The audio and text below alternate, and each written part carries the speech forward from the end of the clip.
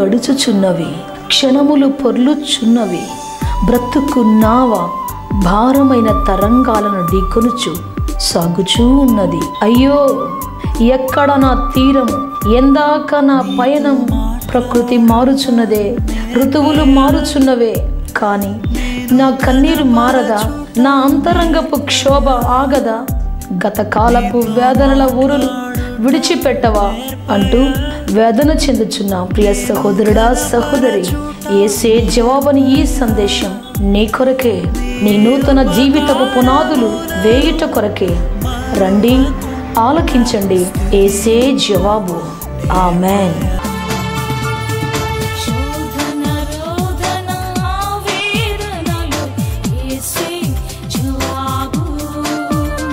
Price మన ప్రభును రక్షకుని కరుణ సంపన్నుడైన యేసుక్రీస్తు ప్రశస్త నామలో మీ అందరికీ మా హృదయాంతరాల్లోంచి శుభములందరాలు తెలియజేస్తూ ఉన్నాం. అందరూ సంతోషంగా ఉన్నారు కదా? ఈ సంవత్సరం ఒక దేవుడు అద్భుతమైన కార్యం చేయాలని ఆశ్చర్యకార్యం చేయాలని ఎంతో ఎదురు చూస్తున్నారు కదా? ఏసే ఖచ్చితంగా మీ హృదయ వాంఛ నెరవేర్చడం సిద్ధంగా ఉన్నారు. ఆశ్చర్యకార్యం చేయడం సిద్ధంగా ఉన్నారు. ప్రైసలడాల లూయ ఈరోజు చెప్పబోతున్నటువంటి దేవుని వాక్యం మన గుండెల్లో ఫలించినట్లుగా నూరు శాతం దేవుని యొక్క సమాధానం మన జీవితంలో దిగి వచ్చినట్లుగా అందరం కూడా తల వంచి చిన్న ప్రార్థన చేసుకుంటాం. ప్రార్థన ఆలోకించే దేవుడు మన దేవుడు. ప్రార్థనకు ప్రతిఫలం ఇచ్చే దేవుడు. ఎవరు కళ్ళు మూసుకొని ఏసయ్య అని పిలుస్తారో వారి యొక్క స్వరాన్ని ఆలోకించడానికి అద్భుతం చేయడానికి ఆశ్చర్యకారం చేయడానికి దేవుని చెవులు ఎప్పుడూ సంసిద్ధమై ఉంటాయి. అందుకే ఆయన పేరు ఏమిటంటే ప్రార్థన ఆలకించువాడా.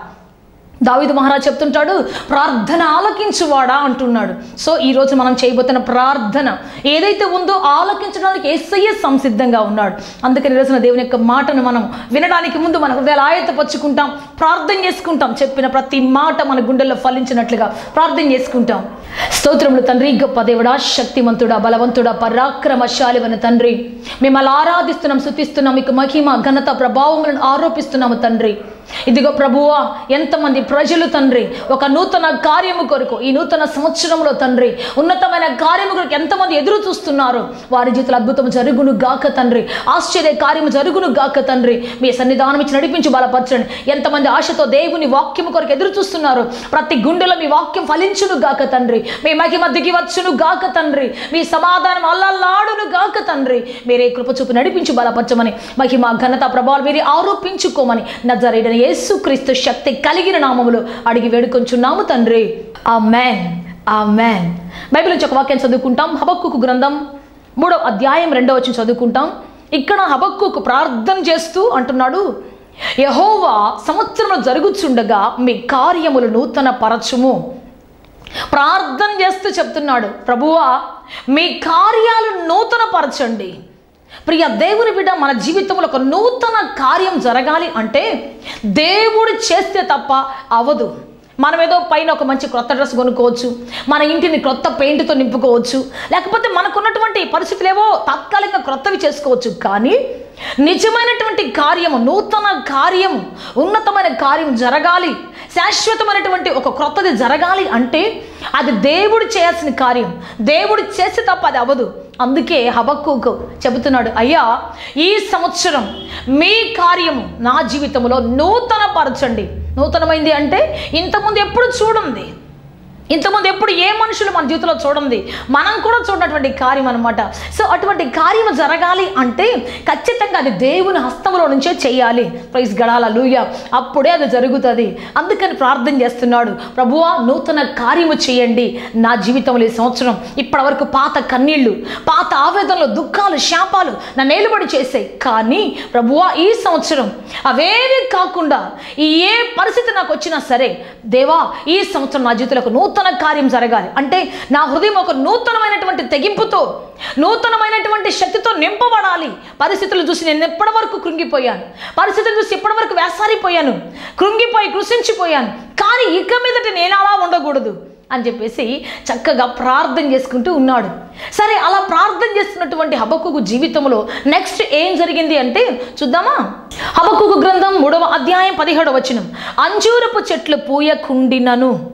ద్రాక్ష చెట్లు ఫలింపకపోయినను ఒలివ చెట్లు కాపు లేక ఉండినను చేనిలోని పైరు పంటకు రాకపోయినను గొర్రెలు దొడ్డిలో లేకపోయినను శాలలో పశువులు లేకపోయినను.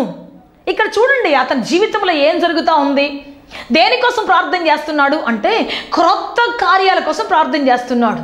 పాత శాపాలన్నీ తొలగిపోవాలి క్రొత్త కార్యాలు జరగాలి అని చెప్పేసి ప్రార్థన చేస్తూ ఉన్నాడు. కానీ ఏం జరుగుతుంది అతని జీవితంలో అంటే ఇక్కడ అంజూరపు చెట్లు పూయలేదు ద్రాక్ష చెట్లు ఫలింపలేదు. అంతేకాదు అతని జీవితంలో ఇంకా శాలలో ఉన్న పశువులన్నీ పోయినాయి. పంట చేతికి రాలేదు. ఆ సంవత్సరం చాలా కష్టతరంగా ఉంది. ఉన్నదంతా పోయింది. ఇప్పుడు ఏం చేయాలి?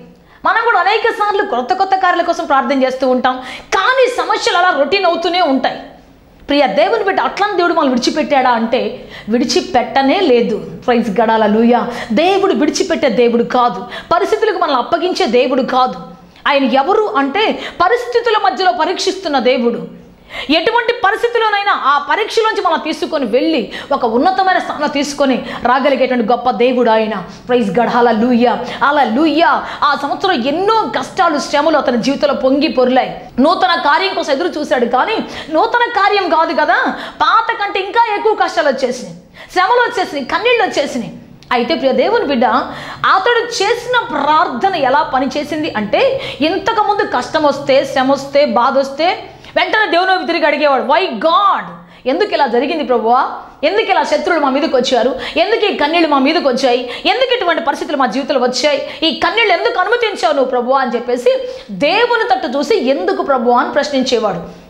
కానీ ఇప్పుడు ప్రార్థన చేసిన తర్వాత అతని హృదయంలో ఒక క్రొత్త మాట ప్రతిధ్వనిస్తూ ఉన్నది. క్రొత్త వాక్యం వస్తూ ఉన్నది. ఏం వాక్యమో తెలుసా? చూద్దాం హబకుకు గ్రంథం మూడవ అధ్యాయం. పద్దెనిమిది వచనం. ఇవన్నీ లేకపోయినా లేకపోయినా పశువులు లేకపోయినా పంట లేకపోయినా అంజురపు చెట్లు పూయకపోయినా ఫలించకపోయినా అని చెబుతూ చెబుతూ చెబుతూ నా బ్రతుకు ఇలా అయిపోయింది నా జీవితం ఇలా అయిపోయింది చా అసలు ఎందుకు నేను బ్రతకడం అని అనట్లేదు. ఇంత జరిగిన తర్వాత ఏం చూసుకొని బ్రతకాలి నేను అనడం లేదు. దేవుడా ప్రార్థన చేసిన కొద్దీ నా జీవితం ఇలాగే అయిపోతుంది అని సణుక్కోలేదు గొనుక్కోలేదు కానీ ఇక్కడ ఒక ప్రత్యేకమైన మాట మాట్లాడుతున్నాడు. ఏమిటి అంటే నేను యహోవా యందు ఆనందించేదను. ప్రైజ్ దల్లడాల లూయ అంతేకాదు నా రక్షణకర్త అయిన నా దేవుని యందు నేను సంతోషించేదను అని చెప్పేసి పంతొమ్మిది వచ్చిన ఒక చక్కని మాట చెప్తాడు. ప్రభువుకు యహోవా నాకు బలము. ఆయన నా కాళ్ళను లేడి కాళ్ళ వలె చేయును. ఉన్నత స్థలముల మీద నన్ను నడువ చేయును అంటున్నాడు. ప్రైజ్ గాడ్ అలా లూయ్యా అలా లూయ్యా ఇన్ని జరిగినా సరే ఇప్పుడు ఏమంటున్నాడు అంటే అంటున్నాడు ఇదిగో ప్రభువుకు యహోవా నా బలము. ఆయన నా రక్షణకర్త నన్ను రక్షించే దేవుడు పోషించే దేవుడు.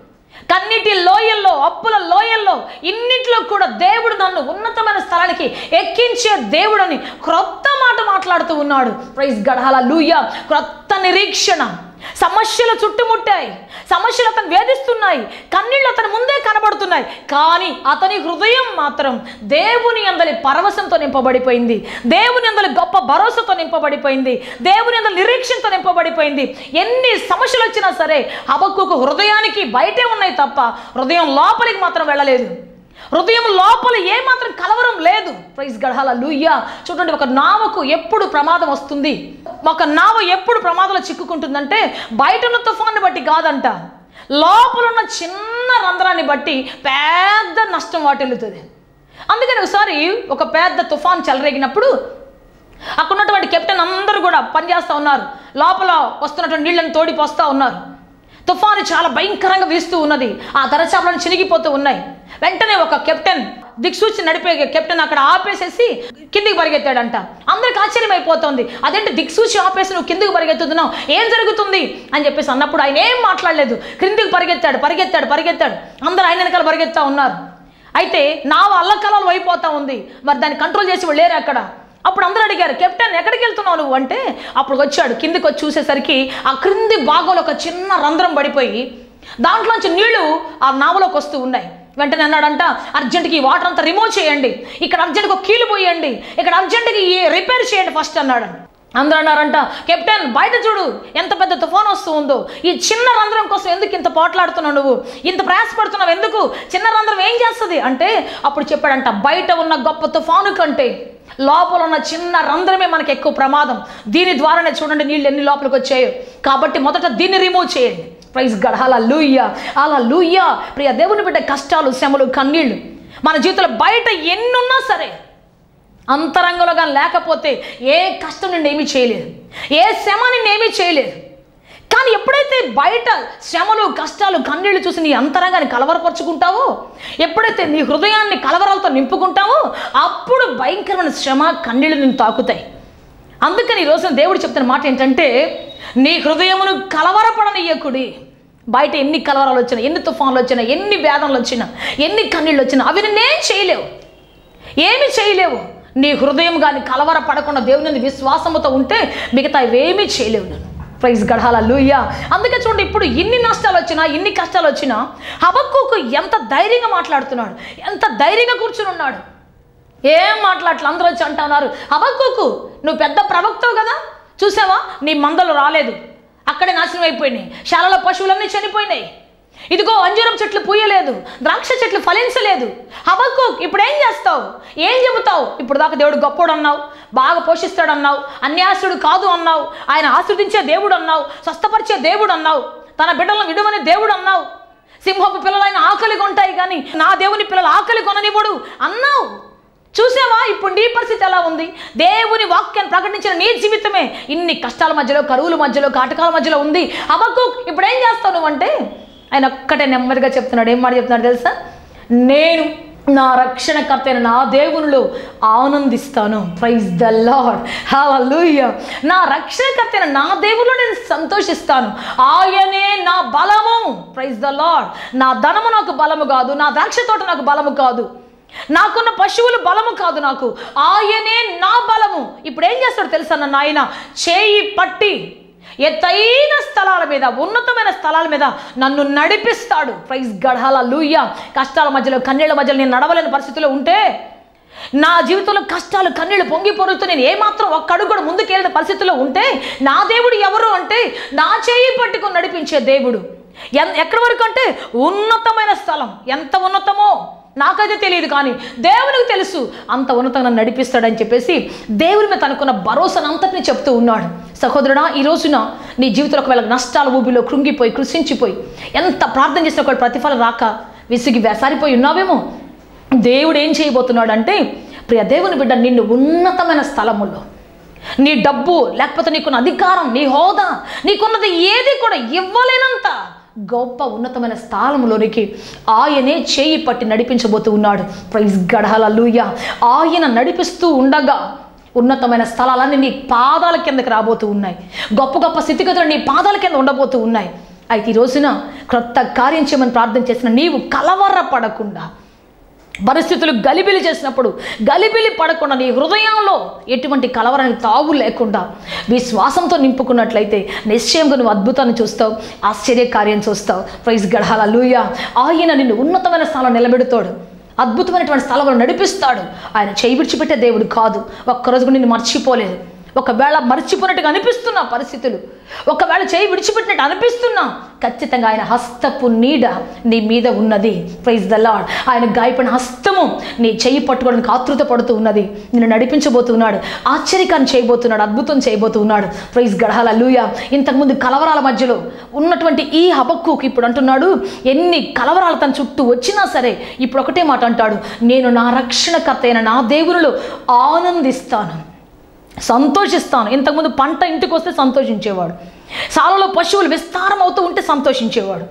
కానీ ఇప్పుడు ఏం చేస్తున్నాడు అంటే అతని హృదయం మార్చబడిపోయింది. ఎన్ని కష్టాలు శ్రమలు సుడిగుండాలు అతని చుట్టూ వచ్చినా వాటి గురించి మాట్లాడటమే లేదు అసలు. అబ్బక్కు నువ్వేం తింటావు? నువ్వు ఎలా ఏం కట్టుకుంటావు? ఎలా జీవిస్తావు?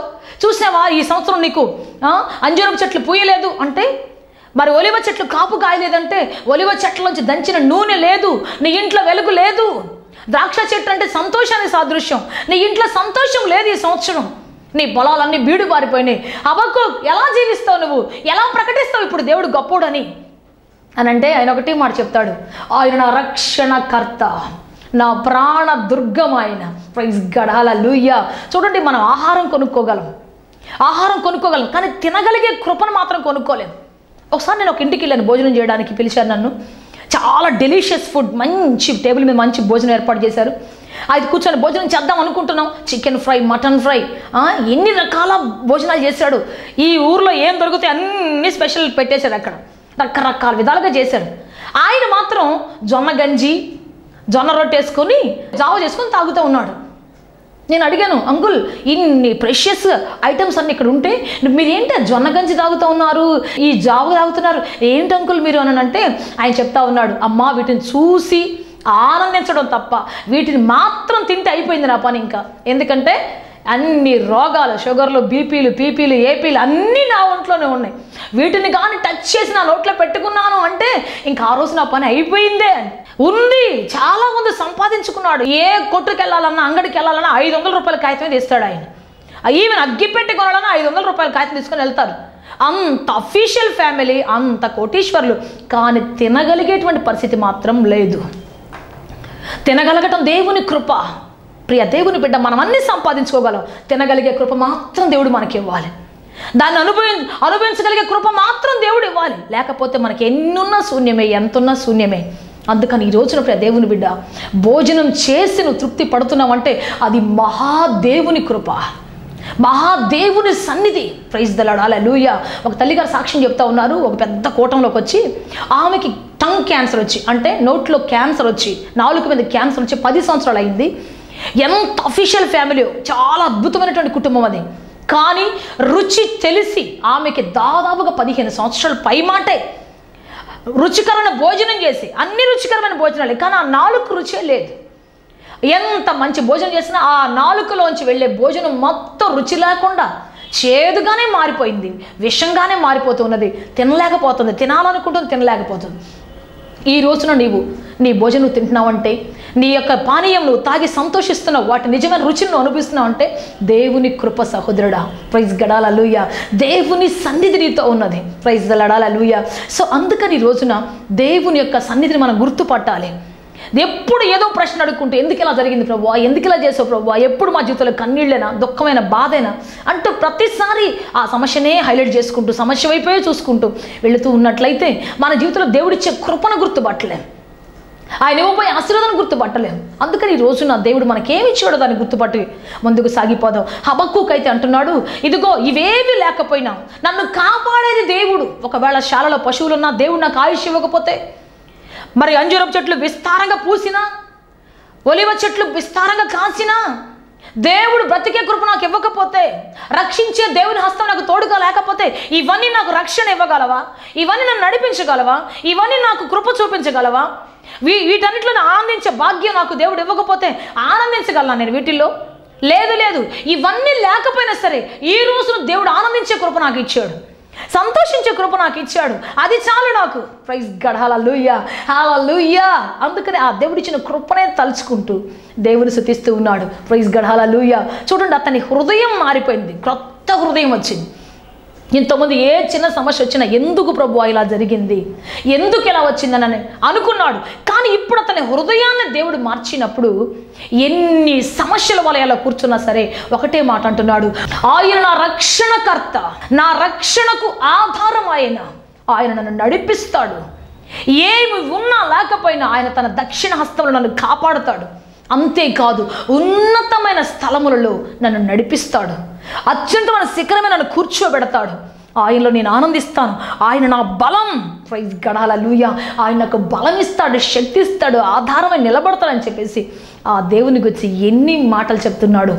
సో ప్రియ దేవుని బిడ్డ ఈరోజు దేవుని మాట దేవుని యొక్క సన్నిధి మనకు సమీపంగా ఉన్నది. ఈ సంవత్సరం మన హృదయాన్ని క్రొత్తదిగా చేసి సమస్యల వలయాల్లో కూడా సంతోషించే భాగ్యం ప్రభు అనుగ్రహించాలని ఆశపడుతూ ఉన్నాడు.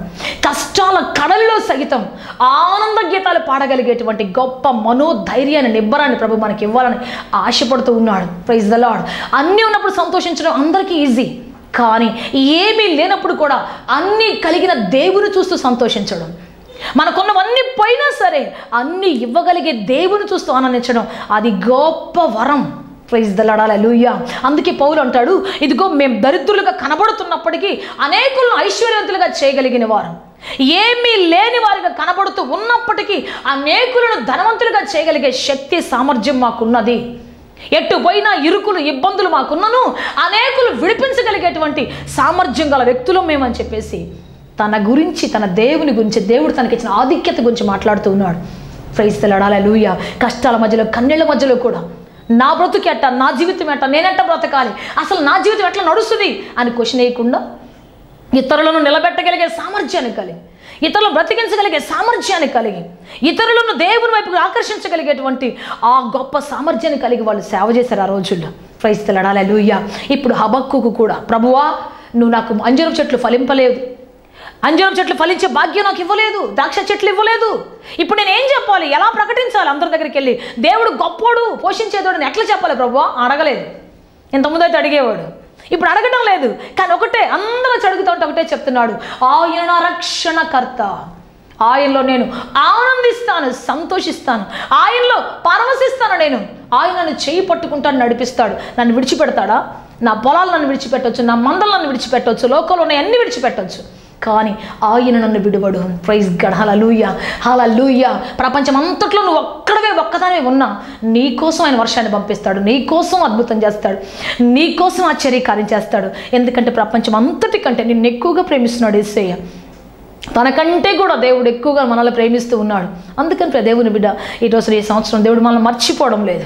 కష్టాలు శ్రమలు కన్నెలలో సైతం నిబ్బరము కలిగి బ్రతికి నిబ్బరంగా సాగిపోవడానికి ఆ ఉన్నత స్థలాలు చూడడానికి దేవుడు మరి హబక్కుకు నేత్రాలు ఎలా తెరిచాడో మన నేత్రాలు కూడా అలాగే దేవుడు తెరవబోచు ఉన్నాడు. ప్రైజ్లాడాల లూయ ఉన్నతమైన కార్యాలు చూడడానికి వేస్తే మనల్ని ఆయత్తపరుస్తున్నాడు శక్తి గల కార్యం మన పట్ల చేయబోతున్నాడు. ఉన్నతమైన కార్యం చేయబోతున్నాడు. సో ఈ రోజున ఆ దేవుని యొక్క సన్నిధి మనతో ఉన్నది. అందుకే జాగ్రత్తగా దేవుని మాట మనం వింటాం. ఈ రోజున ఎన్ని కష్టాలు శ్రమలు కన్నీళ్ళు వచ్చినా ఒక్కటి ప్రార్థన చేస్తాం. ప్రభువా హబక్కుకు కళ్ళు తెరిచిన దేవా నా కళ్ళు తెరవను. హబక్కుకు ఉన్నత దర్శనం చూపించిన దేవా నాకు చూపించాడు. నా హృదయాన్ని మార్చండి. ప్రార్థనతో నా హృదయాన్ని నింపండి. నిరీక్షణతో నా హృదయాన్ని నింపండి ప్రభువా. కష్టాల కన్నీళ్ళ మధ్యలో సహితం ప్రభువా నిబ్బరం కలిగి జీవించే భాగ్యం తెచ్చిన ప్రభు అని చెప్పేసి ఈరోజు మనం ప్రార్థన చేయబోతున్నాం. దేవుడు అటువంటి కార్యం చేయబోతున్నాడు. ప్రార్థన చేసుకుంటాం. Thank you Jesus thank you wonderful master అయ్యా మిమ్మల్ని శుతిస్తున్నాం ఆరాధిస్తున్నాం. మీ నామానికి మహిమ ఘనత ప్రభావాలు ఆరోపిస్తున్నాం. ఇప్పటి వరకు తండ్రి మీరు మాట్లాడిన ప్రతి మాటను బట్టి మీకే స్థుతి స్తోత్రములు తండ్రి. ఏసయ్యా కష్టాలు శ్రమల కన్నీళ్ళ మధ్యలో హబక్కుకు ఆనందాన్ని గురించి మాట్లాడుతూ ఉన్నాడు. ఉన్నత స్థలాన్ని గురించి మాట్లాడుతూ ఉన్నాడు. మీ రక్షణను గురించి మాట్లాడుతూ ఉన్నాడు. ఏసయ్య మీరు చేసిన కార్యములు ఎంత ఉన్నతమైనవి తండ్రి. మా జీవితంలో కూడా అటువంటి కార్యం చేయమని అడుగుచున్నాం. కష్టాలు కన్నీళ్ళలో సహితం మీ ఉన్నతమైన శిఖరాగ్రాన్ని చూడగలిగే కృప మాకు అనుగ్రహించండి. మీ సన్నిధి మాకు ఇచ్చి నడిపించి బలపరచమని. ఎస్ఐ మీ సమాధానంతో నింపమని. ఎంతమంది ప్రజలు తండ్రి మీ నూతన కార్యం కొరకు ఎదురు చూస్తున్నారు వారందరి జీవితంలో అద్భుతం ఆశ్చర్యకారం చేయమని యేసుక్రీస్తు శక్తి కలిగిన నామములో అడిగి వేడుకొంచున్నాము తండ్రి. మ్యాన్ ఆ man my God bless you all దేవుడు అత్యధిక దీవించి ఆశీర్వదించి ఉన్నత శిఖరం మీద నిలబెట్టును గాక గొప్ప సాక్షిగా మార్చును గాక ఆశీర్వదించును గాక. ఆమెన్. ఆమె ఆత్మతో సత్యముతో ఆరాధించాలని కోరుకుంటున్నారా? ఏసయ్యను గూర్చి మరింత లోతుగా తెలుసుకోవాలని అన్వేషిస్తున్నారా? శక్తివంతమైన ఆరాధనలో పాల్గొనాలని ఎదురు చూస్తున్నారా ఓటమిలో విజయమును బంధకంలో నిరీక్షణను బలహీనతలో బలమును కన్నీటి లోయలలో ఆనంద శిఖరాగ్రాలను చూడాలని ఆశిస్తున్నారా? రండి ఏసే జవాబ్ అనే ఈ పరిచర్యలో మీరు పాలిభగస్తులు కండి. మా ప్రేయర్ చవర్ ద్వారములు మీ కొరువు. ఎల్లవేళలా తెరవబడే ఉంటాయి. వివరములకు మా చిరునామా sister Prasanna prayer tower KH వాడ నవాబుపేట నెల్లూరు ఆంధ్రప్రదేశ్ ఇండియా. మా ఫోన్ నెంబర్లు nine two four seven eight zero seven six three one double nine eight nine seven one eight two nine zero.